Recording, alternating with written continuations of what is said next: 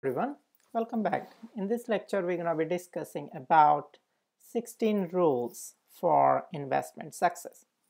These rules as it stands out in history that uh, one of the uh, one of the biggest mutual fund uh, or asset management company uh, Franklin Templeton Investments uh, original founder Sir John uh, he gave these 16 rules of success okay to his employees. And these being published long back in 1939 uh, and those are very key items okay? Uh, if you're gonna be you know focus on what uh, Sir John said hopefully you're gonna do better uh, with your investments. So let's see what are those those rules. Number one invest for maximum total real return. What does it mean by the real return? Is that the total profit after paying all expenses including taxes. All right. Rule number two, invest. Do not trade or speculate. This is very important. Invest. Be an investor, not an speculator. Rule number three, remain flexible and open-minded about investment types. What does it mean? That say for example, you have a certain strategy that uh, um, you want to buy only blue chip companies, okay? But situation may arise that uh, cyclic uh, uh industry companies which are or stocks which are in cyclic uh, industry type they might give you better return. So instead of buying blue chip, you might consider buying cyclic. Okay. So always be flexible with your investment strategy and open-minded, you know, gain new ideas, new uh, opportunities, always ready. All right. Rule number four, buy low. This is very simple to understand even in, in market, uh, let's say you want to buy a property. So if you buy low, then what's going to happen? After one or two years, property value will appreciate. So you're going to make good profit. If you buy high, your profit margin would be lower. Very simple. Buy low. Number five, buy quality stocks at bargain. So what does it mean? That wait uh, for the opportunity uh, till the price of your chosen quality stocks go lower. For example, uh, there are certain companies which people think they are good buy, let's say Apple. So if the Apple stock is trading too high, uh, for whatever is the reason, bull market or whatever is the you know condition, wait till it goes low.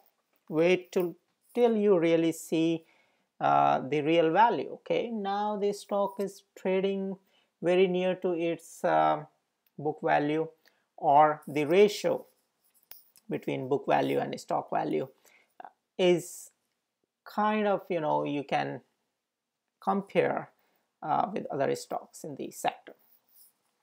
Buy so rule number five buy quality stocks at bargain. Rule number six, buy value stocks. Okay, do not uh, bet on market trends or economic outlook. It clearly says that buy the value companies, where the companies which are creating value, or in other words, do the fundamental analysis. Rule number seven, diversify. That's the key. Diversify as much as uh, the numbers they allow with safety. Okay. What does it mean that? Well, you do certain calculations, you know, you do technical analysis, you do fundamental analysis, especially fundamental analysis. You calculate different ratios, you calculate a bunch of other, other things to analyze properly these stocks So diversification is the key in terms of stocks and bonds. Diversify. Okay. Rule number eight, do your homework or hire experts. It is very simple that like as you do homework at university, college or school um, to get the grades. And if you do homework properly in a right manner, you'll get good, better grades same way. If your homework is proper, your profit will be better. Okay? Or if you can do, then hire the experts. It is very simple analogy that if you cannot do the homework, uh, you ask your friend to do your homework. Rule number nine, monitor, okay? Monitor aggressively your investments. For example, you bought some, some blue chip companies or some companies and for whatever is the reason, the, uh, the economic outlook, for example, doesn't look, look promising, you might have to sell that stock for certain months and then buy back. Monitor aggressively. That's the key idea. Rule number 10, don't panic. That's a very, uh, very important message right there. Do not panic. Say, for example, if it, it is a bull market, everybody is buying, everybody is buying, and the stock price shoots up. Wait, wait till it till you really get the uh, price coming to the range uh, where you feel you should buy. And when everybody is selling, don't sell. Wait. Wait uh, till you properly analyze and you find the value that, okay, now I don't want to invest in that stock. So never take panic. Rule number 11 learn from your mistakes. That's very important. The one who doesn't learn from his or her mistakes, they keep on doing the same mistakes again and again, and it's insanity. So always learn from your mistakes so that you don't repeat those mistakes again and again. Rule number 12 begin with prayer or meditation. That's important. Why? Well, when you do prayer or meditation, that helps to, to clear your mind from unnecessary thoughts. Always remember, it's very helpful. Begin with prayer or meditation. Rule number 13. It is very difficult to outperform the market. The goal is to outperform the market, but it is very difficult the asset management companies who are consistently outperforming the market, they are doing very good job. Rule number 14.